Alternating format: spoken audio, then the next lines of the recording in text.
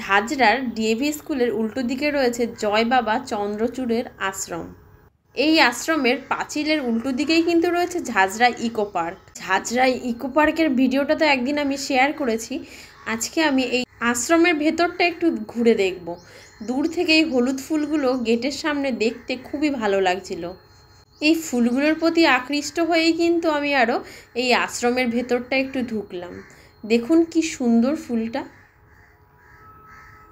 বেশ কয়েকবার এমন হয়েছে, রাস্তা দিয়ে যখন যাচ্ছিলাম, এইখানে অনেক ধরনের ফুল গাছে ফুল ফোটা দেখে আকৃষ্ট হয়েছিলাম। গেটের দুপাশে দেখলাম দুটো আমলকি গাছ লাগানো, তারপর এখানে হরেক রকমের জবা কিন্তু রয়েছে।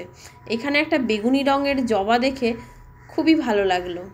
প্রায় দিনই দেখেছি সকালবেলার দিকে ফুলগুলো কিন্তু গাছে খুব সুন্দর ফুটে থাকে আর দূর থেকে দেখতে খুব ভালো লাগে। এই পাশে রয়েছে একটা বজরং বলির মূর্তি। তার পাশে রয়েছে মা কালীর একটা মূর্তি।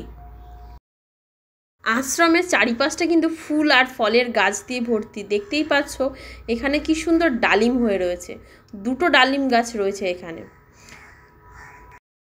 বাকি আরও অন্যান্য ফলের গাছগুলোও ছিল, সেই ফল গাছগুলো এখনও ফল আসেনি। আর এখানে রয়েছে একটা ছোট্ট কুয়ো। আশ্রমের পাঁচিল ঘেরা যেই জমিটা রয়েছে, সেই জমিটা পরিষ্কার করা হয়েছে। মনে হয় কিছু গাছ টাছ লাগাবে এর জন্য। আশ্রমে সোজাসুজি রয়েছে জয় বাবা চন্দ্রচূড় যার নামে এই আশ্রমটা? মানে ভোলানাথ। আর তাকে আগলে রয়েছে দুয়ারে নন্দী মহারাজ। আশ্রমের পরিবেশটা কিন্তু বেশ শান্ত। সকালবেলার দিক ছিল, তার জন্য অত ভিড়ও ছিল না। চারিপাশে গাছপালা দেখতে দেখতে আমি সামনের দিকে এগোচ্ছিলাম।